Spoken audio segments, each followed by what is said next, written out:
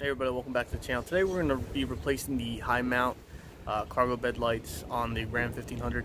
Now if you've been with the channel for a while, you know that I replaced all the LEDs in my uh, C5 Corvette. Well, not all, but most. So I really do like the white LED look.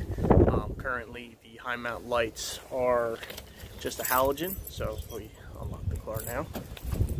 You can barely see them here in the daylight. Um, I'm going to cut to a clip here at night.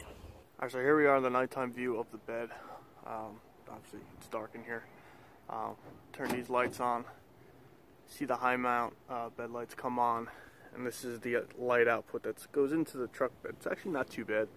Uh, I'm blocking off the side LED bed lights uh, just so we can see the comparison of just the high mounts from before and then after.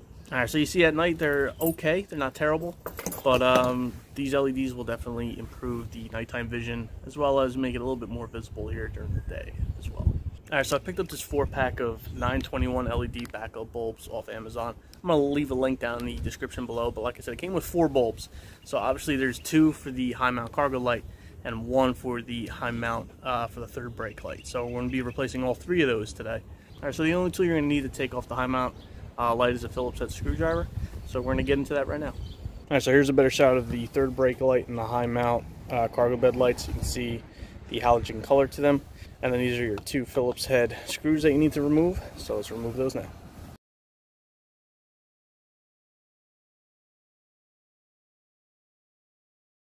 Okay, so this is with the high mount light removed. All you have to do, these two outside lights are the cargo bed lights. This middle light is your third brake light. So all you have to do is just twist these off and the bulbs come right out.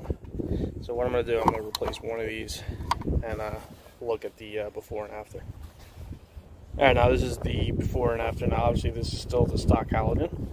And now this is the new LED. Uh, here they are during the day. It's kind of hard to really notice that big a difference. But uh, there's definitely a difference here just looking at it in person. But uh, I'll show you a nighttime clip now on both of these replaced. Alright, and now all three bulbs are replaced. The two cargo bed lights, and then I also, since it came with a pack of four, I replaced the one brake light. So then these are pretty easy to go back in. They just go back in the same way they came out. Just put them in, and then just rotate them in.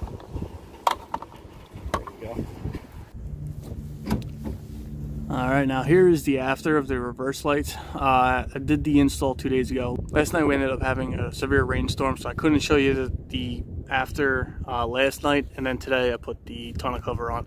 So I can't show you the exact comparison between before and after, but you can clearly see how much brighter these are from the stock ones. And then now I'm gonna get in the car and hit the brake light for you.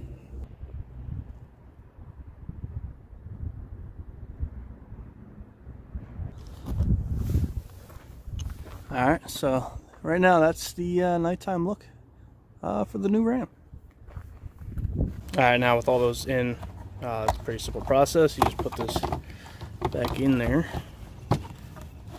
And then we just screw our uh, two screws back in.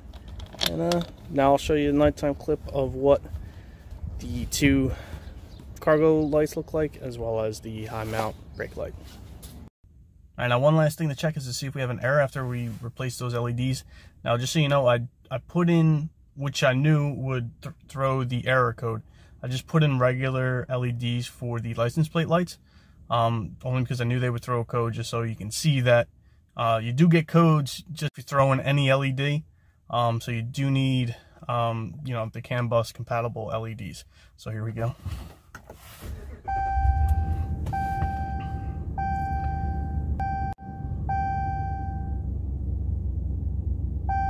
All right, so there you go. There's the notification that the license plate light is out. And that is the only message we have, is that the license plate's out, not the, I'll put it in reverse.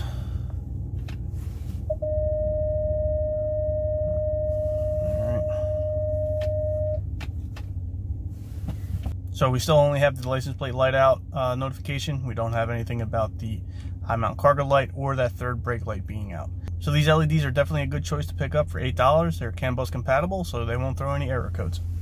Okay, so here's the final product with the two high mount cargo lights replaced and that third high mount uh, brake light replaced.